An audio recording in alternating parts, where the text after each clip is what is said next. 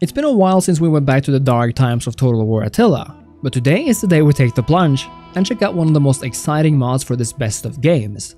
Where Vanilla Attila takes place during the fall of the Western Roman Empire, today's mod jumps ahead a few hundred years to the dawn of Islam and the First Caliphate, a time of just as much turmoil, chaos, and total war. And if you are as excited as I am about 634 Fire and Swords, which is an extension of the Rise of Islam mod, I really hope you leave a like and consider subbing to the channel. And now, 634 Fire and Swords.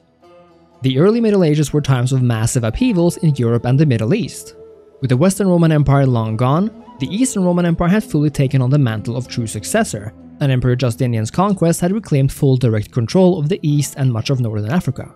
More than that, Justinian established so-called exarchates in Italy and Africa, essentially massive vassal states which were also under his leadership. Rome was therefore arguably in a better position than during the time of Attila, although things would take a turn for the worse in the coming decades and centuries. In Western Europe, we begin to see the formations of what will come to be the medieval kingdoms later on. The Franks have by now established a large foothold in Gaul, the Visigoths a massive kingdom in Iberia, and several tribes make their mark in Germania and northern Italy, along with them the Alemanni and the Lombards. In the north, the Vikings are beginning to stir as the Danes set their sights in Britain, and on this island realm, kingdoms like Mercia and Wessex have formed, making ready for a battle royale unlike few others. But it is in the southeast where the coming storm takes form. In Arabia, a prophet recently united the tribes of the Desert Peninsula and formed a faith which would take its followers near the heart of Europe itself. The Islamic Rashidun Caliphate stirs, and it is on the cusp of its expansion that you get to take the reins and control the caliphs on their path to greatness. This is also partly why this mod is so interesting. As far as I know, there are extremely few games that cover the time period of the early Muslim Caliphate, so there's definitely a sense of novelty surrounding it. Additionally, this time period is still an age of large empires. Surrounding the Arabs is not only the mighty Roman Empire to its west and north, but to the east, the Sassanid Empire is still in charge of the rich and fertile Mesopotamian lands and extending into Persia. And the question of fertility is a big one here. You see, as our caliphate is based entirely in Arabia, things like food is rather scarce to say the least. The fertility in this region is the lowest possible, standing at 1 out of 5, which means that the only reliable food source we have comes from camel farms. This is also how Attila's awesome base game mechanics make playing the Muslims that much more exciting, as your bustling empire is in need of expanding outward if you are to feed your armies and people. The first question you have to ask yourself is which empire do you wish to fight first? As history would have it, we actually begin the game with two powerful armies, ready to go at any moment. We also begin with two vassal factions who are likely to join your wars. Now the Sassanid Empire is smaller than the Roman, but this makes it more concentrated and easier for its armies to defend itself. So while the Sassanids hold some of the most fertile lands in the world, I personally went westward at first. I attacked the independent Ghassanids as I entered Palestine, in a battle which saw the first Muslim incursion outside of Arabia.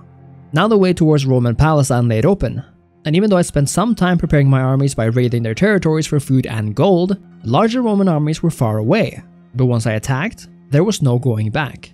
An old vassal decided not to join my little invasion, which of course meant they had to be dealt with as well. A reserve army I had built in the east was used for this purpose, meaning I didn't have to waste my western armies. What really aided in my immersion was that once my invasion begun, the Romans really began to feel the discontent among their African provinces. A rebel faction rose in Egypt, meaning that Alexandria and the Nile was now cut off from the rest of the empire. And due to 634's awesome submod, which allows factions from the same people to join each other's empire, I was able to integrate this new Islamic faction into my own. The same thing happened in another province shortly after, and soon, I was completely surrounding Alexandria with armies. This was a fierce battle, but once again showcases why Attila is such an awesome base for mods like these. The graphics still shine, and whether we're talking unit models, the cities themselves, or the fires of war, it all looks and feels so epic. I bombarded Alexandria with catapult fire and siege towers, and once inside the city, my superior cavalry forces took care of the rest. And speaking of cavalry, the Arabs fight quite differently from the other major factions in the game, although they're not too different from the likes of the Sassanids for example. Here we have an abundance of cavalry units, including horses and camels, and long-range units also form the backbone of these armies. Of course we have excellent infantry as well, but the harassing nature of the cavalry really is the main strength here. Especially is this a case for fighting in large open fields and deserts, as the Caliphate is even immune to desert attrition.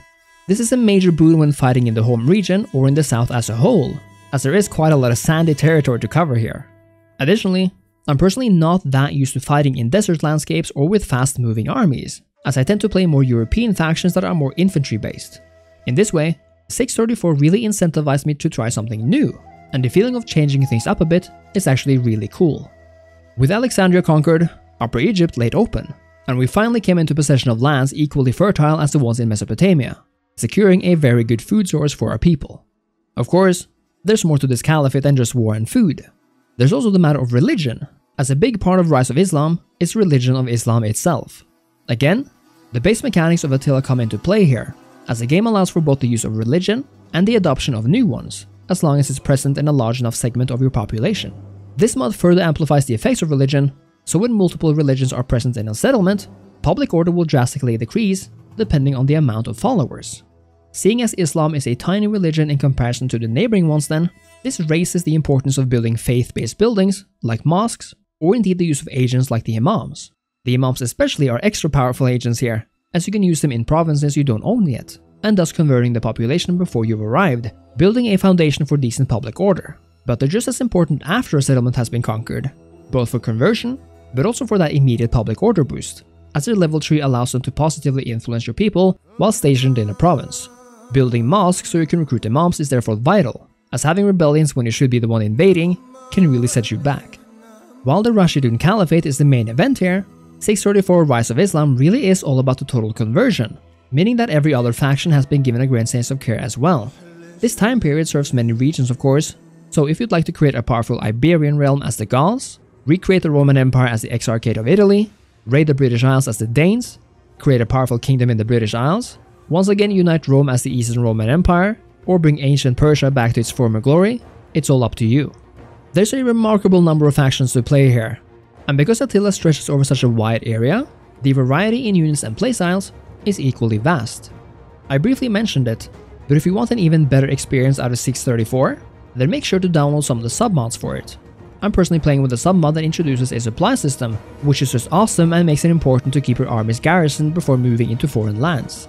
Being supplied gives your armies a better fighting chance as well as integrity, and adds even more depth to the army management.